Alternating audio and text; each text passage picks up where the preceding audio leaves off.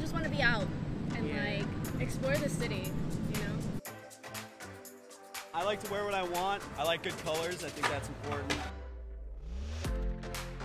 You know, and that's why like I like wearing stuff like this because like this is what really represents like who I am. Like the way I dress and the way I act, just being genuinely me. This outfit's tough. This is elite. This is just for me.